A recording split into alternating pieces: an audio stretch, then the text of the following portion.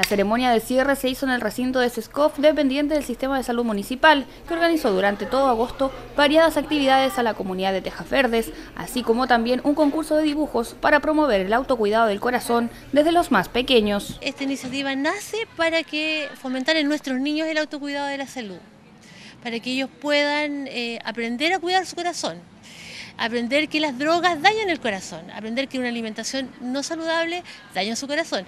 Y por los dibujos que ustedes pudieron ver, eh, lo entendieron muy bien, o sea, fue muy bien comprendida por ellos la...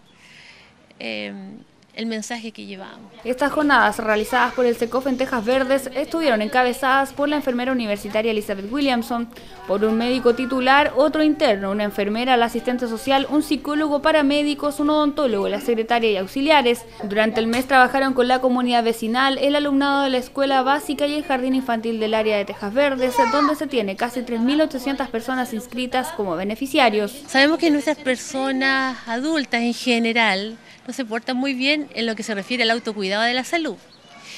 Y lo que yo les manifestaba, por ejemplo, tenemos población de 20 a 44 años, gente mayor que no asiste a control, no se ha responsabilizado de su salud y llegan a urgencias después con infartos o enfermedades que ya son irrecuperables, que les llevan a largos años y finalmente a la postración. El fin fue promover los hábitos de alimentación sana y vida saludable para cuidar el órgano motor del cuerpo humano, política pública que se viene incentivando a nivel gubernamental con el programa Elige Vivir Sano. Maravillosa iniciativa también de parte del consultorio de Tejas Verde que incentiva a los niños menores, en más o menos en promedio de 3 a 6 años, a crear de lo que significa la enfermedad del corazón.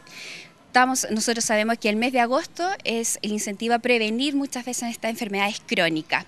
La verdad es que el presidente Sebastián Piñera está arduamente trabajando en esta iniciativa, junto con la primera dama Cecilia Morel, crear conciencia de pequeño con la vida saludable. Así que me parece maravilloso que a nivel provincial nosotros también estemos haciendo, cumpliendo estas funciones. Los niños autores de los dibujos, con el fin de incentivar nuevos hábitos para la prevención de enfermedades cardíacas, recibieron premios en juguetes, terminando el acto con alimentos saludables para los asistentes y demostrar lo aprendido durante estas jornadas del mes del corazón.